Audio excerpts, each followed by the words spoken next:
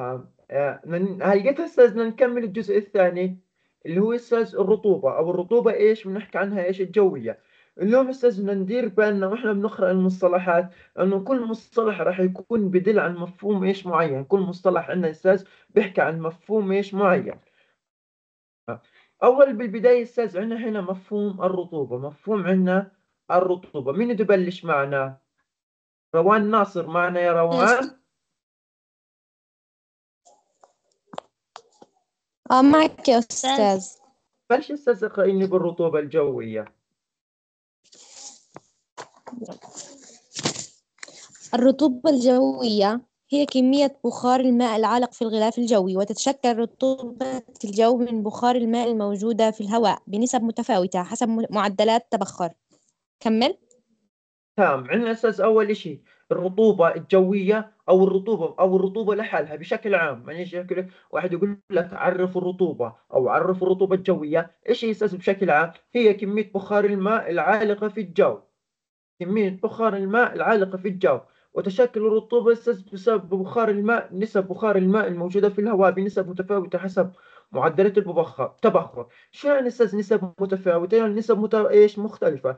إذا كان في عندنا أساس كمية بخار ماء عالية جدا كمية تبخر عالية راح يكون في عندنا الرطوبة إيش؟ مرتفعة. إذا كانت كمية بخار الماء قليلة جدا راح تكون عندنا نسب الرطوبة منخفضة إيش؟ جدا. فعندنا كمان مرة الرطوبة الجوية هي كمية بخار الماء العالقة في الجو العالقة في الغلاف الجوي وتتشكل الرطوبة من بخار الماء الموجود في الهواء. بنسب متفاوتة حسب معدلات التبخر. أستاذ علماء المناخ علماء المناخ قسموا إن الرطوبة حسب المقاييس لعدة إيش؟ أقسام. هسا نبلش أستاذ ندير بالنا على المصطلحات. يعني كلمة الرطوبة المطلقة هنا بلشنا نحكي عن مقياس جديد ومفهوم الرطوبة جديد والرطوبة النسبية أستاذ بلشنا نحكي عن الرطوبة بشكل إيش أستاذ؟ مفهوم جديد في البداية ما نيجي نحكي أستاذ الرطوبة الجوية عندنا الرطوبة المطلقة والنسبية هدول المقياسين بندرجوا تحت الرطوبة. يعني عندنا الرئيسي أستاذ هذا مفهوم الرطوبة. المقاييس اللي بتندرج تحتها تحت عندنا أستاذ الرطوبة المطلقة والرطوبة النسبية. تفضل يا شيماء. اقرأي لي أول مقياس أستاذ.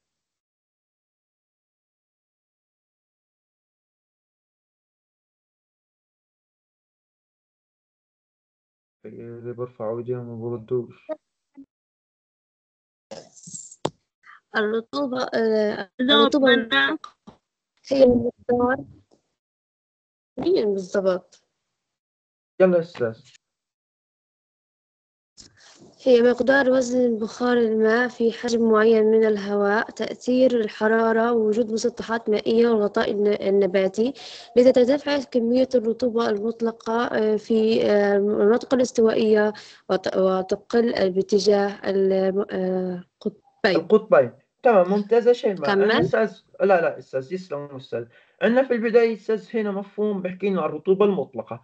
هي وزن بخار الماء في حجم معين من الهواء.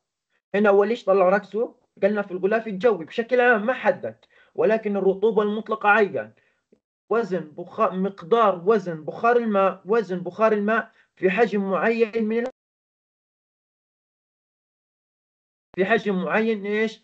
ببخار إيش الماء. يعني نركز يعني نيجي نحكي رطوبة مطلقة؟ نحكي عن وزن بخار الماء في حجم معين عندنا من إيش؟ من الهواء. هذا مفهوم أو مقياس الأول من الرطوبة عندنا إيش؟ المطلقة. تمام. بماذا تتأثر عندنا الرطوبة المطلقة؟ تتأثر أستاذ عندنا أستاذ الرطوبة المطلقة بعدة أشياء. تتأثر عندنا بعدة أشياء.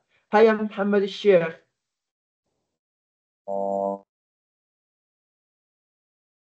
هيا محمد.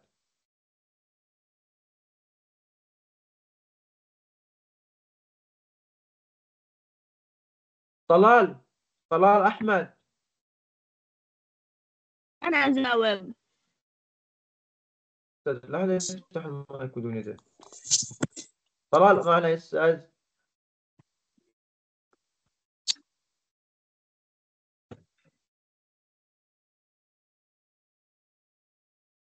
يلا يا زهرة.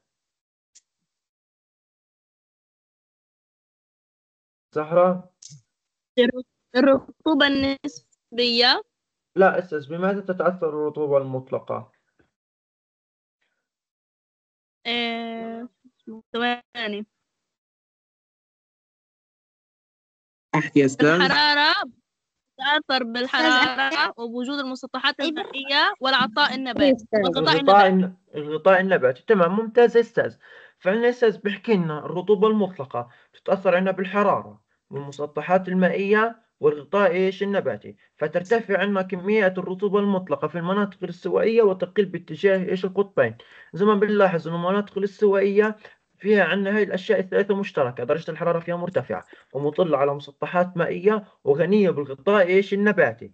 فبنلاقي إنه الرطوبة المطلقة في هاي المناطق مرتفعة إيش؟ جدا. هاي المناطق مرتفعة إيش جدا؟ على عكس مناطق القطبين درجات حرارتهم منخفضة الغطاء النباتي قليل جدا ولكن في مسطحات مائية. ما استفدنا ما دام ما فيش عندنا درجة حرارة ولا عندنا غطاء إيش نباتي. فبنلاقي إنه المناطق القطبية يا أستاذ الرطوبة فيها إيش أقل. تمام؟ ممكن هنا أستاذ يجينا سؤال علل علل ترتفع كمية الرطوبة المطلقة في المناطق الاستوائية وتقل باتجاه القطبين. بسبب درجات الحرارة وجود المسطحات المائية والغطاء النباتي في المناطق الاستوائية على العكس المناطق عندنا إيش؟ القطبية.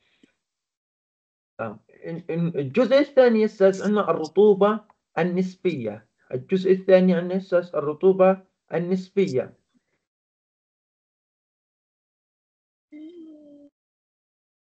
يلا يا لوجين.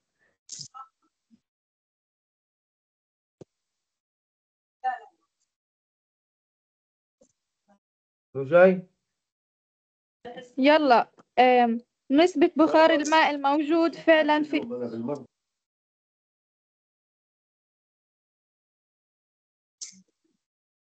تمام لوجين نرجع لك أستاذ. طلال معنا يا طلال؟ معك يا أستاذ. تفضل يا أستاذ.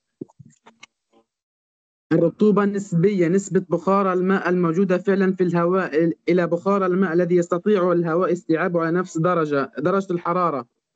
وتعتمد الرطوبة النسبية على درجة حرارة الهواء معدل التبخر وبناء على مقياس الرطوبة النسبية. تمام. فإنه طلال. طلال قبل ما نحكي عن التأثيرات أو نحكي عن بماذا يترتب عن المقياس الرطوبة النسبية في البداية عندنا هنا استاذنا نحكي عن الرطوبة النسبية. بحكي لنا الرطوبة النسبية هي عبارة عن شو؟ نسبة بخار الماء الموجودة في الهواء قديش الهواء بيقدر يستوعب بخار ماء يعني هل الهواء بيقدر يستوعب يرفع كميات أكبر من بخار الماء ولا هي قد بك- بكفي؟ على نفس درجة إيش إيش الحرارة؟ فأنا على سبيل المثال نيجي نحكي إنه درجة حرارة الهواء 20 وموجود فيه بخار ماء قد إيه درجة حرارة الهواء اللي درجة حرارته 20 قد إيه يقدر يستوعب عندنا عندنا بخار ماء؟ هاي بنحكي عنها الرطوبة النسبية. يعني نسبة بخار الماء الموجودة بالهواء على بخار التي يستطيع على نسبة البخار على نسبة الهواء على نسبة بخار الماء التي يستطيع الهواء استيعابه على إيش؟ نفس درجات إيش؟ الحرارة. فهمتوا علي؟ يعني قد إيه في عندنا نس... عندنا نسبة هاي في عندنا عندنا بخار ماء في الهواء. طب هذا الهواء قد إيه بيقدر يستوعب بخار ماء؟ على نفس درجة الحرارة. يعني لو كانت درجة حرارته 20 قد إيه بيقدر يستوعب أساس بخار ماء؟ هاي بنحكي عنها الرطوبة إيش؟ النسبية. تمام. عنا شو بتعتمد ان الرطوبة النسبية؟ بتعتمد على شغلتين. بتعتمد على درجة حرارة الهواء ومعدلات التبخر بماذا تعتمد عنا؟ على درجة حرارة الهواء ومعدلات إيش؟ التبخر كمل يا طلال. ألف. إذا انخفضت نسبتها بشكل كبير في الهواء يصبح الجو جافا حارا. أو جافا باردا وإذا ارتفعت بشكل معتدل يكون الهواء منعشا ولطيفا. تمام ممتازا. أول شيء أستاذ الرطوبة النسبية. على حسب مقاييسات أستاذ ما نيجي نحكي رطوبة نسبية. بتكون ليش إحنا حكينا عن رطوبة نسبية أستاذ؟ لأنه بتكون الأرقام اللي راح تنتج. عنها أستاذ نسب. بس خلص عندي خلص. آخر إشي. ديروا بالكم يا جماعة المايكات. ديروا بالكم على المايكات. حكيت لكم قبل هيك كل واحد في بيته وكل بيت له خصوصياته. نش والحصة مسجلة. زي ما حكينا أستاذ الرطوبة النسبية الأشياء ال- الرطوبة النسبية ال- يعني إحنا لما نيجي نقيس الرطوبة النسبية شو بيطلع لنا؟ أرقام. يعني بتطلع لنا الرطوبة رطوبة الهواء 20% رطوبة الهواء 30% رطوبة الهواء 50% أما الرطوبة المطلقة بنحكي لنا عن حجم معين وزن بخار الماء.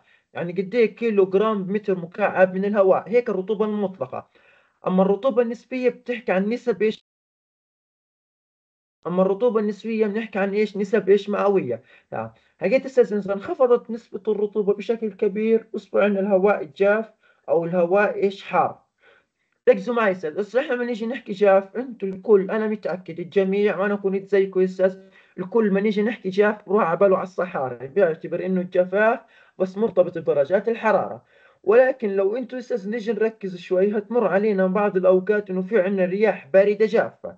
عندنا الرياح الباردة إيش الجافة؟ بس تتذكروا أستاذ أخذنا الرياح الموسمية الشتوية الجافة. الرياح الموسمية الشتوية إيش الجافة؟ طب كيف شتاء وجفاف؟ لا. فإحنا أستاذ ما نيجي نحكم على أي شيء بدنا نحكم عنه هل هو جاف ولا بنحكم على نسب بخار الماء. إذا كان بارد وفي بخار ماء بنحكي عنه أستاذ إيش؟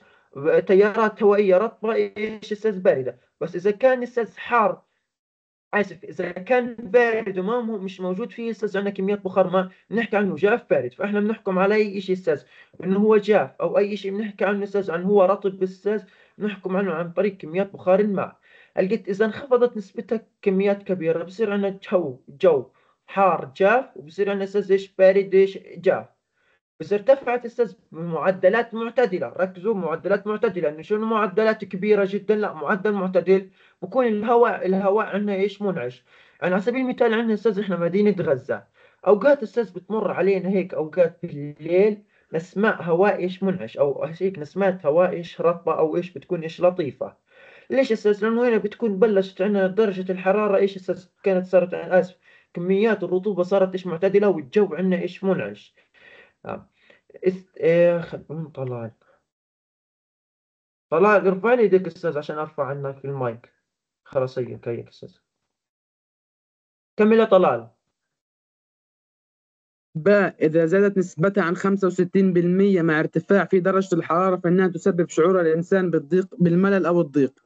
تمام. إذا ارتفعت 65% زي الإمارات أستاذ هي الدولة المطلة أستاذ على الخليج ال- المناطق المطلة على بحر العرب والخليج العربي أستاذ. عندها مسطحات مائية ودرجات حرارتها إيش مرتفعة؟ زي الصحاري. فإيش بنلاقي؟ إنه دائما الرطوبة عندهم 65% عندنا غادي أستاذ الإمارات ما بتقدر تتحرك في الشوارع خصوصا الظهر.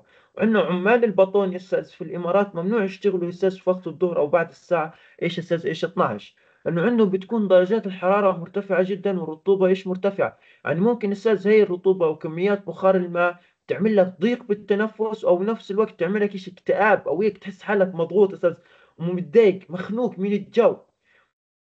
عندنا الجو أستاذ في عندنا مواد كاملة بتحكي إنه كيف تأثير الجو ممكن يأثر على الحالة النفسية للإنسان. فعندنا حالة الجو أستاذ لما يكون المناخ أستاذ درجة حرارته مرتفعة خصوصا للناس اللي بتكره الصيف فبتلاقي أستاذ إيش بتلاقيه دائما معصب عنده ضيق. ونفس الشيء أستاذ ما نيجي نحكي بالشتاء لما تكون درجة الحرارة منخفضة والناس بتكره الشتاء بتلاقيهم إيش أستاذ بتلاقيهم دائما أستاذ إيش معصبين أستاذ آه، أو متضايقين. تمام. هسه إذا زادت نسبتها عن 65% مع ارتفاع درجة الحرارة يعني الرطوبة إذا بتزيد عن 65% وارتفعت درجة الحرارة كمان بالزيادة. هسه إحنا حكينا إذا بترتفع درجة الحرارة راح تزيد عندنا كميات بخار الماء؟ فبالتالي راح تزيد عندنا الهواء يزيد كمية يزيد استيعاب الهواء لكميات الرطوبة إيش أعلى؟ تمام. خلونا هنا نعرض أستاذ قبل ما نحكي. أهم مقاييس الرطوبة عندنا مقياسين. عندنا أستاذ أول شيء الرطوبة المطلقة واثنين عندنا الرطوبة إيش؟ النسبية. أخذنا قبل شوي أستاذ مفهوم الرطوبة المطلقة. هي مقدار وزن بخار الماء في حجم معين من الهواء. والرطوبة النسبية هي أساس نسبة بخار الماء الموجودة في الهواء. فعلا إلى الماء إلى الذي يستطيع الهواء استيعابه على نفس درجات عندنا إيش؟ الحرارة. تمام. عندنا ملاحظات أستاذ. تعبت وأنا بقرأ؟ أستاذ مين بده يقرأ؟ ريحني. أقرأ أستاذ. طول بالك يا طلال. هو خلي هيرك خمسين واحد بالحصة. يلا يا سندس.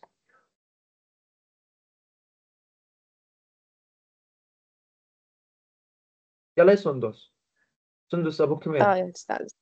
مم.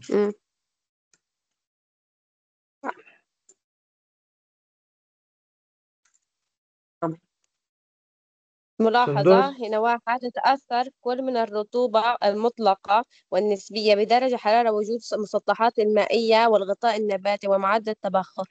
اثنين إذا انخفضت نسبة الرطوبة النسبية بشكل كبير يصبح الجو حار آه، حار آه، جاف حار أو جاف بارد. ثلاثة إذا ارتفعت الرطوبة النسبية بشكل كبير وازدادت نسبتها عن 65% مع ارتفاع الحرارة فإن تس- تسبب آه، شعور بالملل والاكتئاب. أربعة ارتفاع الرطوبة النسبية في فلسطين في المناطق السهل الساحلي نظرا لأنها تشرف على على بحر المتوسط. تمام عندنا أساس ما حكينا الرطوبة المطلقة والنسبية بتتأثر بدرجة الحرارة والمسطحات إيش؟ المائية. عندنا بالزيادة عندنا كمان أساس الرطوبة المطلقة حكينا كمان بتتأثر عندنا بالغطاء إيش؟ النباتي. اثنين إذا انخفضت الرطوبة النسبية بكميات كبيرة بالجو راح يجينا عندنا الهواء يا جاف حار أو جاف إيش؟ بارد. وإذا ارتفعت الرطوبة النسبية بكميات كبيرة عن 65% راح تسبب عندنا شعور بالملل والاكتئاب. عندنا بترتفع نسبة الرطوبة النسبية في فلسطين في منطقة الساحل الساحل لأنها تشرف على البحر المتوسط. يعني عندنا البحر هو مصدر يستهدف بخار الماء فبالتالي راح تكون عندنا في فلسطين يستهدف المناطق اللي تكون الساحلية زي حيفا عكا غزة. هاي كلياتها فيها عندنا نسب رطوبة إيش؟ عالية جدا. تمام. خلونا هون يا أستاذ ما نيجي نحكي في نشاط بحثي وإثرائي. مين يقرأ لنا الأسئلة الثلاثة اللي قدامنا خلينا نختم حصتنا.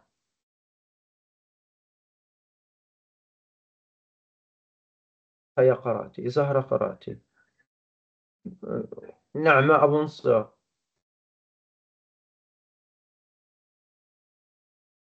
يلا يا نعمة. علاقة بين كمية التبخر وكمية الأمطار على سطح الأرض. اثنين أثرين سلبيين لا لا أستاذ وقف وقف وقف يا أستاذ. أول شيء أستاذ؟ بنيجي نحكي على العلاقة بين التبخر وكمية الأمطار على سطح الأرض. هذا بيعرف أستاذ العلاقة بينهم؟ العلاقة بينهم أستاذ أنا يا أستاذ أي طلال علاقة طردية تمام لأنه إيش كل- أستاذ كل ما زادت عملية التبخر. عملية التأخر زادت كمية الأمطار تمام. يعني طيب كمان عندنا أستاذ كمية التبخرية نفسها كمية التساقط يعني إحنا مستحيل تتساقط عندنا امطار يعني على سبيل المثال أنت بخرت 20 لتر مستحيل يتساقط عندنا يروح يتساقط عندنا كمية أم- 40 لتر مي. لا. اللي تبخر هو راح يتساقط إيش عندنا أستاذ اللي يتبخر هو راح يتساقط إيش أستاذ إيش عندنا؟ فعندنا أستاذ كمية التبخر هي نفسها كمية التساقط. ولكن عندنا أستاذ كمية التساقط بتختلف من مكان إيش إلى آخر. يعني ممكن أستاذ الغيوم تحركها الرياح تحرك أماكن وجود بخار إيش الماء تحرك بخار الماء فمش هتكون يعني مش ضروري المنطقة اللي تبخرت منها كميات بخار ماء كبيرة جدا تساقط عنها كميات مياه إيش كبيرة. يلا يا رينان.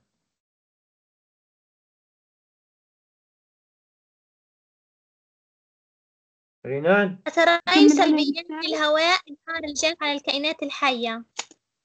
شو عندنا أستاذ اثرين سلبيين للهواء الجاف على الكائنات الحية؟ طب خلينا نحكي إحنا على علينا أستاذ إحنا علينا.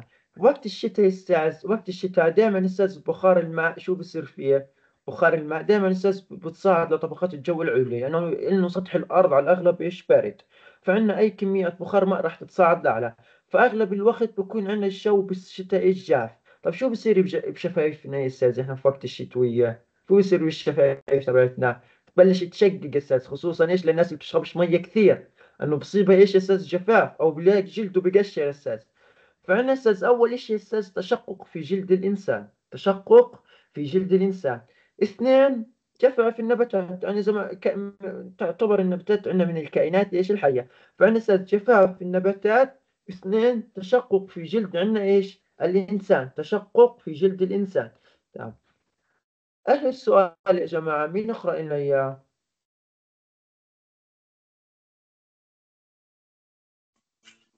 أقرأ وأجاوبه. طويل بالك يا طلال. هاي أحمد آخر واحد. أحمد وائل أبو عبيد. أحمد؟ المناطق التي ترتفع فيها الرطوبة النسبية في فلسطين منطقة الساحل الساحلي.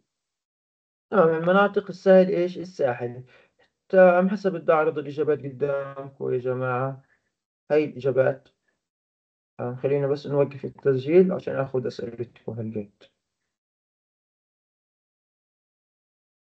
تمام